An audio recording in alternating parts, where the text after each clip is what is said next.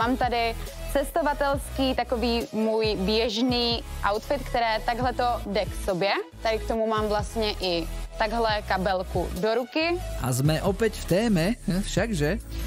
Co se týká denního nošení, tak bych volila spíše menší kabelku, aby nebyla těžká, ale ještě bych tady chtěla zmínit tuhle kabelku, která je za mě plážová. Myslím si, že může ale dobře vypadat i na denní nošení. Ku kabelkám by som povedal toľko, že uh, ubrať z nápisov a značiek a, a dostať sa k takým nejakým použiteľným uh, taškám, aby bolo vidno tie tašky a nie tie uh, message, ktoré sú na nich. Videli sme už, že sa ti podarilo aj tento týždeň outfit úplne zrujnovať taškou, takže uh, toto sú presne také tašky, na ktoré by som Na veľký pozor. Líbí se mi na ní, že je opravdu jiná, zvláštní, krásná.